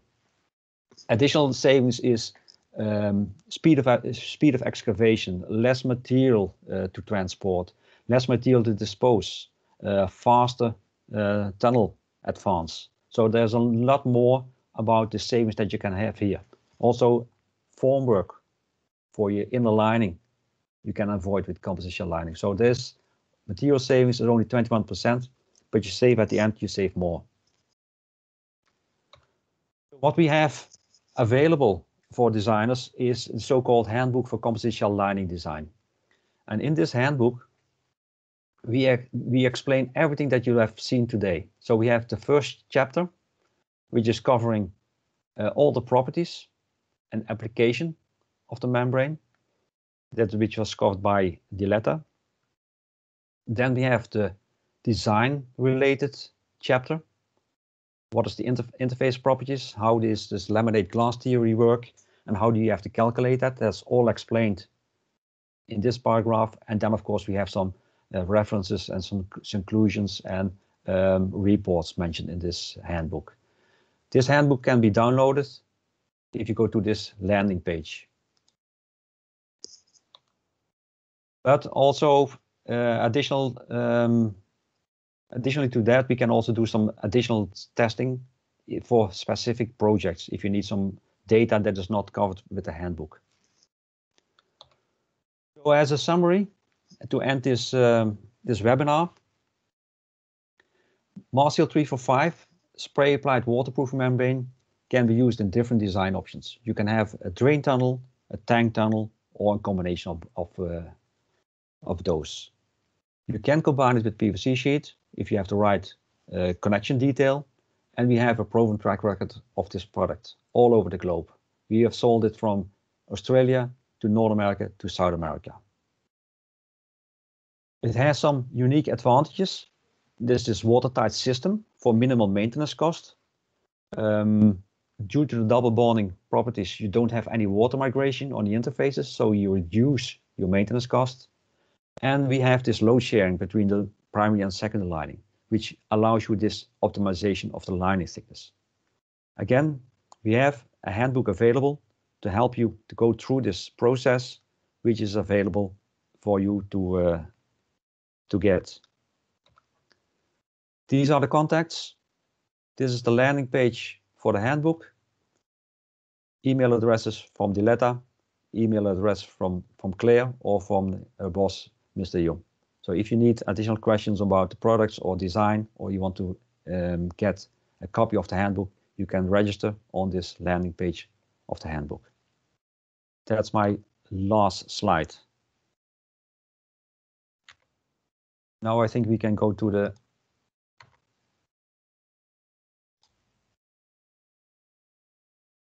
to the questions.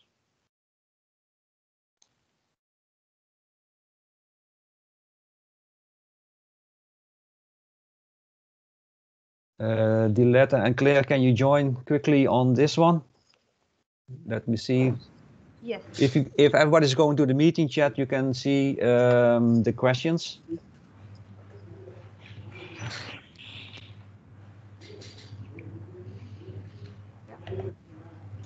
Okay, the first the first question was uh, thickness recommendation for double track railway tunnel and any international codes for this to follow.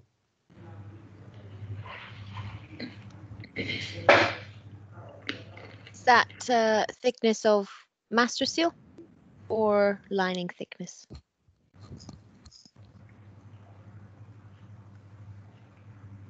I think this is uh, is asked for the lining thickness reductions. So um, what we try to uh, come across on this design issue is that you start as a designer on your double shell lining where you calculate the, the primary lining and you calculate your secondary lining. And then you're using the laminate glass theory to estimate your lining reduction. So it is we don't have any recommended thickness uh, for a double track railway tunnel. It's depending on the situation in the country and also on the on the soil and rock conditions. But we use this laminate glass theory to make an estimation about lining reduction. Uh, Frank, I think, uh, um, yeah, the, mm, the thickness was related to mainly to the waterproofing to the membrane because the um, ah okay yeah yeah the uh, so we can say actually we suggest uh, um, uh, three millimeters of the membrane but take into account that uh, the importance is to get a continuous membrane because it is also related to get a continuous membrane. The consumption of the membrane and the millimeters of the membrane are related to the roughness. Uh, when we have uh, a higher roughness, we have to uh, create a thicker membrane to get uh, two, three millimeters of continuous membrane.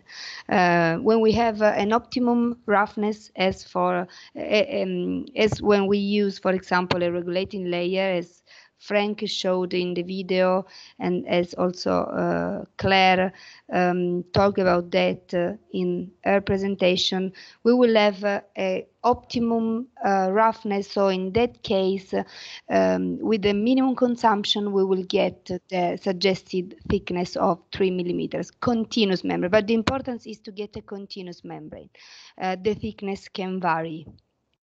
Uh, and about requirements, and we we we have. Uh, no, you can find an ITAtech guideline about uh, spray ball, spray applied membranes um, uh, from 2013, but it will be updated uh, in next uh, months. and there you can find um, the recommended uh, recommended yeah procedure. And we have also a method statement you can get from us and our technical brochure. Mm, Frank, I don't know if you want to add No, something. that's, no, that's fine. Let's say everything is, is covered with documents, so uh, is available. Um, Frank, the minimum thickness, uh, sorry to disturb, the minimum thick, uh, thickness what is recommended is 3 mm. No, the, let's say the we, we guarantee a water tightness of two millimeter, but in reality, mm. because you have you have some some uh, roughness, uh, you your average uh, spraying application is three millimeter. Are we are we supposed to check in the DFT at certain uh, places? Yeah, yeah, yeah. You have to check. Uh, you have to check manually the thickness of the membrane. Okay, thanks. sir. Yeah. Uh, then we have something, a question about costs. That's very difficult uh, for me to uh, to comment on uh, because this is really depending on the type of the tunnel. Uh, but we, but what we have seen um, is that um, the application of the membrane compared to PVC is in the same ballpark. So it's not a huge um, uh, difference if you take everything into account. Well, of course, with PVC, you have to do this compart- compartments. You have to install these uh, injection flanges. Uh, you have to um, install probably also a, a protection layer. So if you take everything in, into account, it is in the same area of application. The only the only thing that is that you can have is if you if you have the composite shell lining, you reduce and you Yeah, yeah, maximum um, load of secondary lining. there's a अरे मैंने भी डाला था यार ये Please be sorry. So, so if you take the composite shell lining into account, then of course you save more than uh, than you can do with um, uh, with a double sheet, with a double sheet membranes. Um, then we have another question about uh, what is the projected life for the MasterSeal 345? Um, this is uh, the product is compare its lifetime is comparable with PVC. So if you have um, a PVC sheet in the in the soil, it will never never uh, uh, degrade. If you put a piece of MasterSeal 345 into the soil, it will never degrade. So it's a very durable polymer which is not decomposed uh, for uh, years. So we normally give, um, if an applicator has to give a guarantee about the application, which is roughly around uh, 20 years or 25 years in some uh, some areas, we can easily match the lifetime of the MasterSeal 345 with this one. This one. Another question is about waterproofing thickness. Waterproofing thickness, as said, we guarantee the same as PVC. If you have two millimeter as a minimum dry film thickness, it's waterproof. This test that Diletta showed you with this 20 bar water pressure was done on a two millimeter thick membrane. You want something to add on that one, Diletta? No, that's okay. No. Yeah. No, I And think we- it's Requirements, requirements for surface. Yeah. Uh, available in the method statement. We can uh, we can share actually the method statement. Yeah, so we have we have a, a simple tool to measure the, the roughness of the surface, and we have some recommendations on the surface roughness. Roughness doesn't mean un, undulation, eh? so it can the surface can be undulated heavily, but is is the small uh, surface roughness that you have with sprayed concrete. And if it's exceeding a certain value, then we recommend to spray the smoothing layer. It's a very easy, simple um, device that you can use to check. But I cannot go into detail, I cannot show you at the moment, but uh, that's all measured, uh, mentioned in our method statement.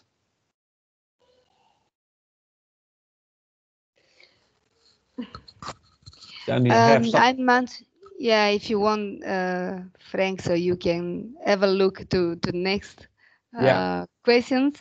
Uh, while spraying the waterproofing, it must be affecting the health of the operator. How safe the spray operation is um, it is um, it, the health of the operator is uh, uh, not affected from from the membrane, but of course uh, the operator has to use all DPI, so mask, um, uh, glass, and helmet and, and gloves also. But it is not a, a, corrosive material or something like that. It is not a dangerous material but um, yeah. Frank, same, same, same, yeah, yeah. same pre, same pre precautions if you if you're spraying uh, sprayed concrete. If you have sprayed concrete, you have to do also some protection with the MasterSeal 345. The same protection applies. Yeah, because because it is uh, actually in powder, no? At the beginning.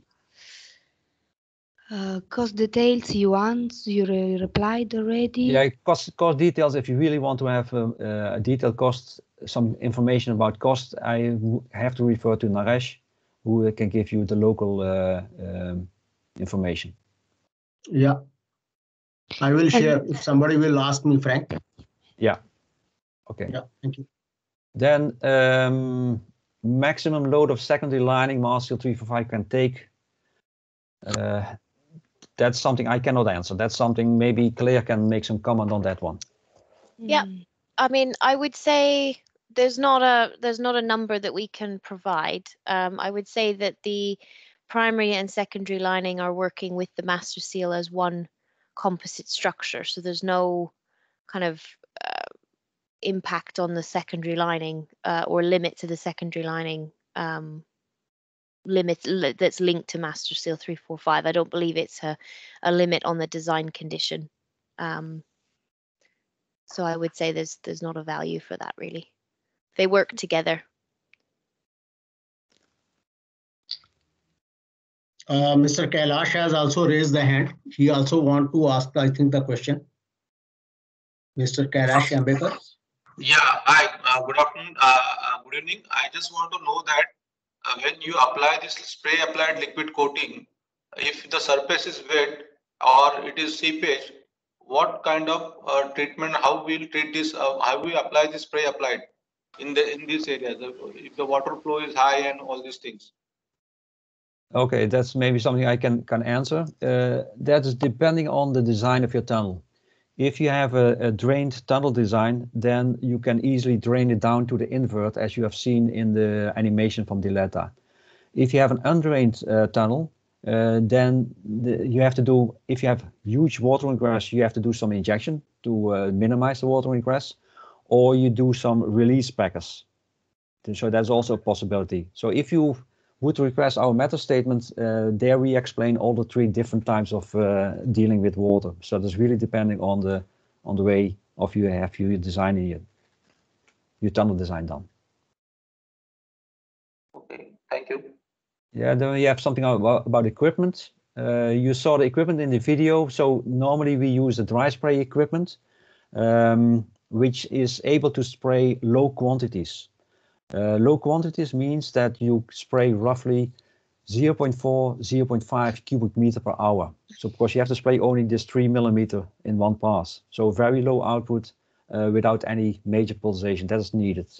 Uh, for that you can use the, the, the, pump that I showed you in the video, the reed, reed pump. They have a configuration that is able to do that, but also the Meyco Piccola is able to do that but also is essential is the, the nozzle tip. That is a special design nozzle tip.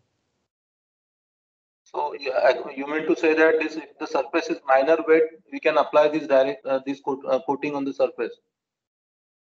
Say again. Sorry, didn't didn't hear you. Yeah, if, yeah. I'm just saying that if the surface is wet, minor wet, you can say the moisturized wet surface. So yeah, you can moist, apply this coating. Yeah, moisturized wet is uh, if it's moist, it's not a problem. Because let's say even in, in for, before the application, we have to pre-wet the surface anyway. So if the surface is moist, we can apply the Master Seal 345 without any problem. Then we have a question about uh, what will be effect of fire in case of takes place while operation. This product is self-extinguishing, so it, it will not propagate the fire. So if you, if you put a torch on the product, it will not burn. So there's no uh, danger for um, a fire or fire propagation during construction. Uh, Mr. Shankar has also raised the hand. He also want to ask some question. Okay, yes. Uh, Mr. Shankar. May, may I know the crack bridging capacity of the membrane and what will be the thickness need to consider? So yeah, we, we can. We, okay, let, let, me, let, let me first answer, then Diletta can jump in if she wants. Um, let's say we have um, um, elasticity of the product around 100%. That means if you test it according to the norms, um, we require a crack bridging property of two and a half millimeter. That's uh, that is established. So that's the uh, the crack bridging that we can guarantee. That doesn't mean that.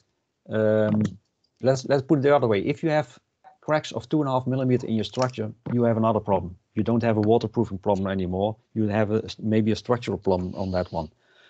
So in in most cases, this crack bridging um, uh, capability is more than enough to cope with all the small cracks that you can have. As if you have cracks in concrete, you, we are talking about 0.2, 0.5, maybe 0.8 millimeter.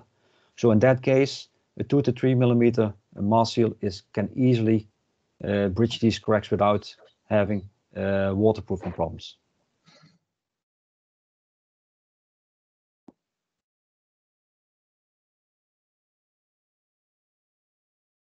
Then we we have, we have some questions about the water requirements for the paste of polymer. Um, we recommend to spray around with 50 to 60% of water. That's the quantity that we normally use. This is depending a little bit on the environment and also on the layer thickness that you want to, want to spray. Um, you can go higher to, to 65 or 70% without any problem because uh, the product will will get more fluid, but it will have the same properties at the end.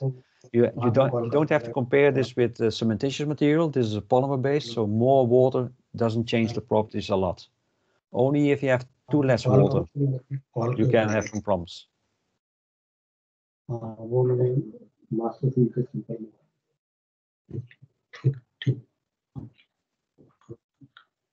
Uh, question two is again about the surface uh, application, surface preparation.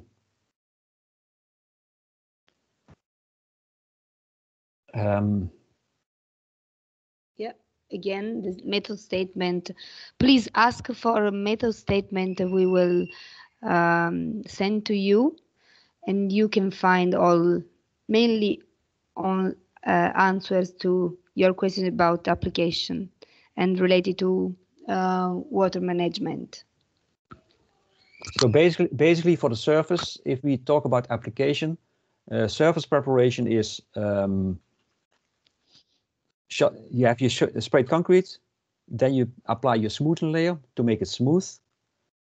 Before you apply the Master Seal 345, you clean the surface and you pre-wet the surface, and then you apply the Master Seal 345. If the Master Seal 345 has been cured, you clean the Master Seal 345 and you spray or cast your second lining. That is the main sequence. Then we have a question for Claire.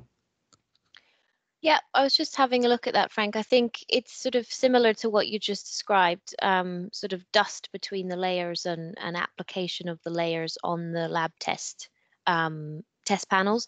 I think we, we would have followed the same method statement that's proposed for uh, application on site.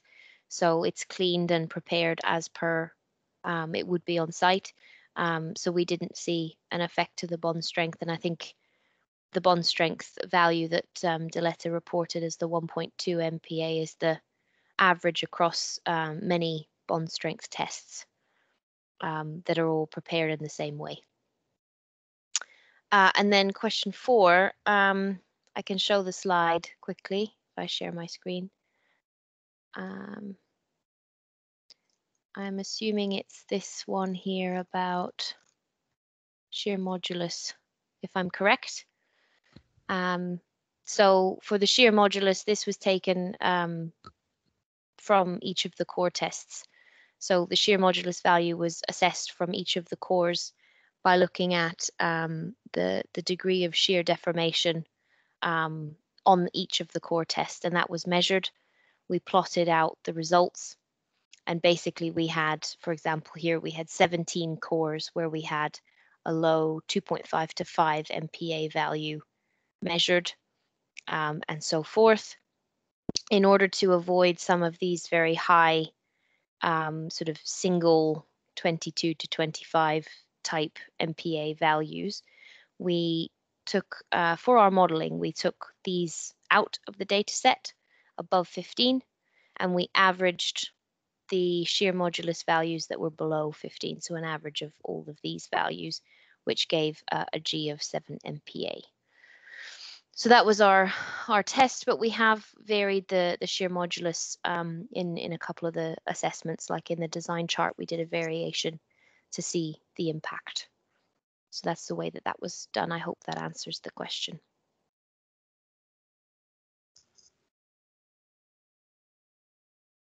Okay, then we have a question about uh, what are the criteria basis uh, for the lining type, uh, spray concrete lining or casted uh, lining. Um, that's depending a little bit on, in, in, from the countries. Um, in a lot of countries, you have road tunnels where they want to have a nice uh, surface finishing, and then you go for uh, casted lining. But um, even in Scandinavia, you have uh, road tunnels that are completely made with uh, spray concrete lining. Um, so there's no criteria. It's just how how should the surface look like. You saw my um, example from Hindhead, that was a road tunnel where they um, went for this casted uh, sidewalls and sprayed concrete uh, on the ground because it was a road tunnel and it was needed to have a nice surface with a reflective paint on it.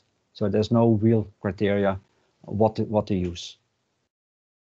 Uh, Frank, there is also uh, before this one a question about uh, the, um, how much water is required for ah. mixing ah. or spraying. Um, you can see again in the method statement or in the TD in the technical data sheet, but we usually are in the range 40, um, 60% um, of the um, weight of the uh, membrane used. Um, take into account when we uh, carry out tests in the lab uh, and we have to mix by hand the membrane, we usually use the 50%, um, more or less. But even if you will use uh, um, um, a, higher value of uh, uh, a higher quantity of water, uh, the membrane will take uh, um, more time to, to, to cure, but it will not be actually affected from the water. And then we have a question about the dry film thickness. Um, let's say if if we talk about thickness of the of the, of the wet sprayed membrane and the dry film thickness, let's say during spraying you measure already the the thickness due after just after spraying. That's point number one. If you want to check afterwards after curing the dry film thickness, you have to you have to make a cut.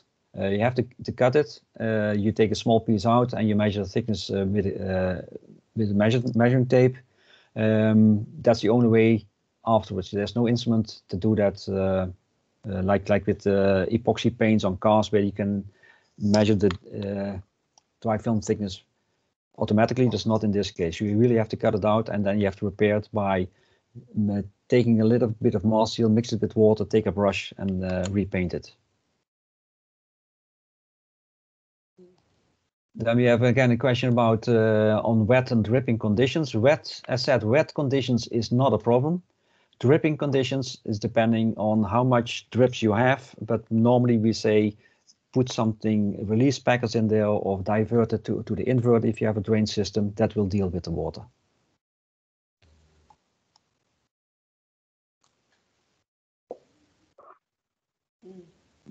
Then we have a question about uh, our presentations. They are already been sent to the organizer and I think they will be distributed later on.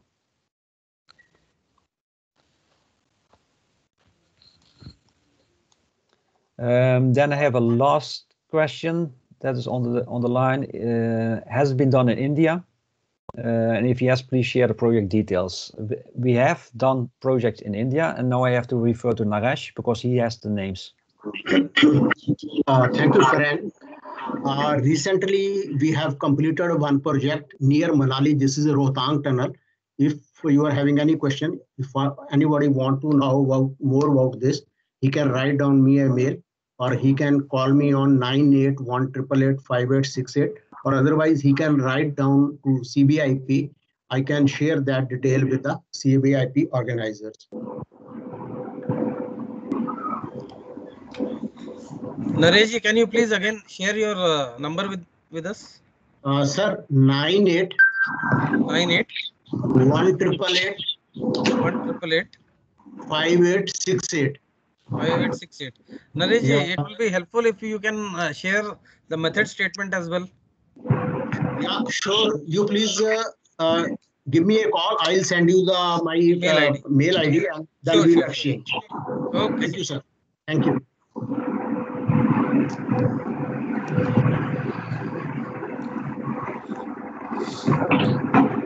Okay, I think we went through all the questions at the moment. Mm. Yeah. Thanks a lot, sir. So now the question. Hello. Yeah. Yes. Now the question. Now the question session is over. We are thankful to the speakers for today's virtual session and look forward to their support in future too. I thank all the people who were participant for this program to, to be associated with the Tunneling Association of India. Thank you all. Thank you. Okay, thank you very much for the invitation. Yeah. It was a pleasure. Thank, thank you very much. Thank you. Bye-bye. Bye-bye. Thank you. Bye-bye.